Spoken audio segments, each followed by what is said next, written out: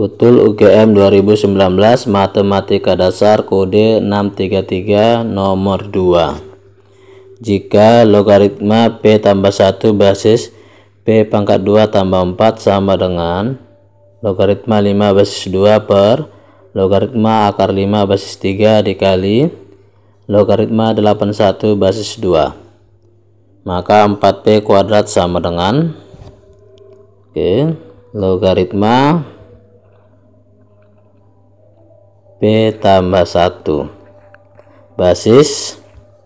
P pangkat 2 tambah 4 sama dengan logaritma 5 basis 2 per ini dulu Bang RP tulis.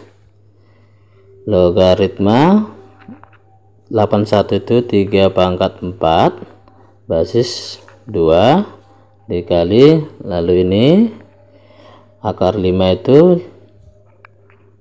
5 pangkat 1 per 2 ya.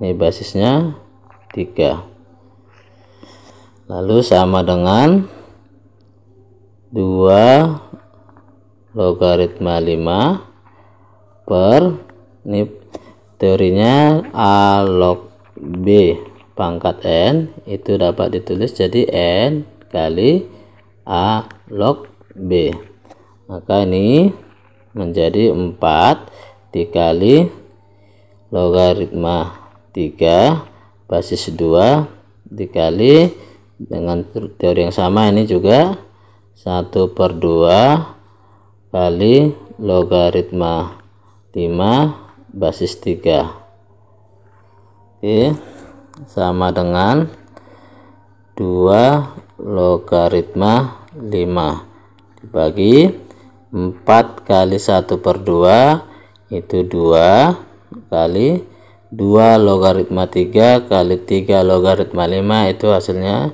2 logaritma 5 teorinya ini ya A logaritma B kali B logaritma C.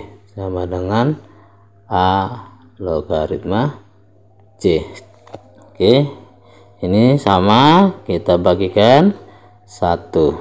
Ini tadi ruasnya logaritma P tambah 1 basis P kuadrat tambah 4 maka sesuai definisi logaritma ini P tambah 1 kita taruh di sini. P tambah 1 sama dengan basisnya P pangkat 2 tambah 4 dipangkatkan dengan ini 1 per 2 ya. 1 per 2 kita kuadratkan kedua ruas diperoleh P kuadrat tambah 2P tambah 1 ruas kanan dikuadratkan jadi P kuadrat tambah 4 P kuadratnya habis maka 2 B sama dengan 4 ini kurang 1 3 lalu kita kuadratkan. 2B kuadrat sama dengan 3 kuadrat. Hasilnya 4B kuadrat sama dengan 9 dan ini adalah pertanyaannya. Maka opsinya adalah D